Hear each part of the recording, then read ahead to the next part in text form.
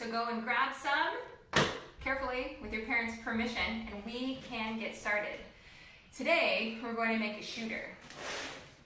All you need out of your science kit is your balloon and this cup. Then everything else should fit nicely and the cotton balls will be what we shoot. Everything else can go back in your cup. And this is how you make your shooter. The first thing you're going to do is cut a hole in here on the bottom. Being careful not to cut yourself.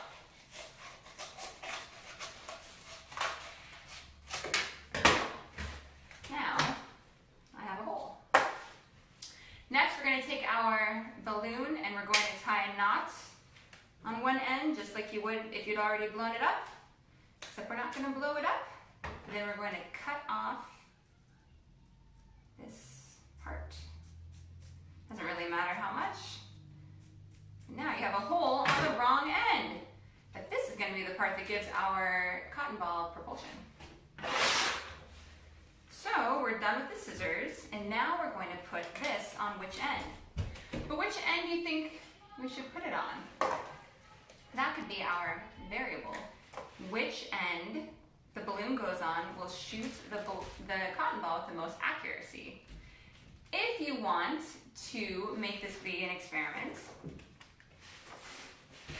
you can write it down here in your notebook.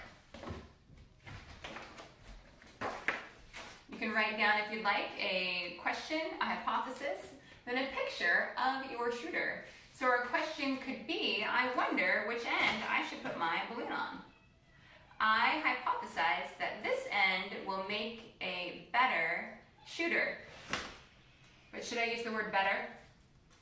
Is that going to give me a good result? Can I record better? Is there a number I can put for better? No. So, we would say can shoot more accurately because that is something I can record. Which side will give a more accurate shooting. So I'm going to start with the shorter end.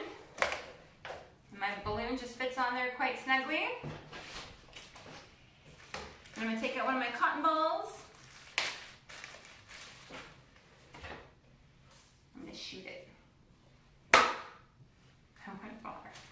I don't know how accurately I can shoot it though. If I can shoot it into this or not. Not very accurate. You could just do how it shoot by ricochet. Let's try the other end.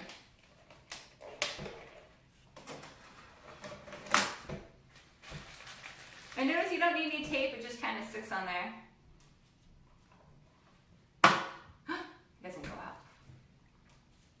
Maybe if I have the cotton ball closer to the end. Oh, that did it. That does not go as far when I do from that end. Still not very accurate. This is not a very accurate shooter. I cannot be very accurate with it. Maybe you can be more accurate with it. That went farther. So, if you want to, you can make this and test how far it can go. Which side you think is best for length of distance or for accuracy. Let's try something else.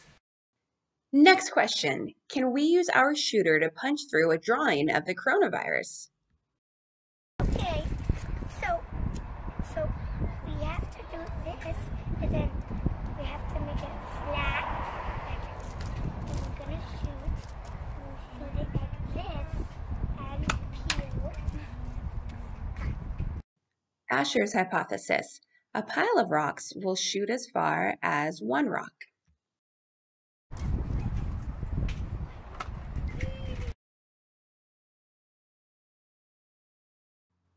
Elam's hypothesis. One big rock will shoot as far as one small rock.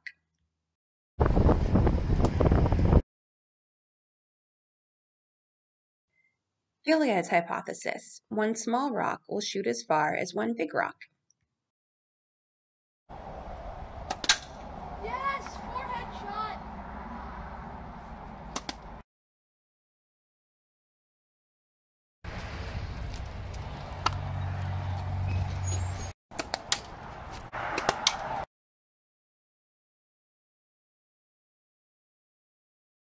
So you can experiment on your own different ways to try to increase your accuracy and your precision. Thanks for watching. I hope you have fun.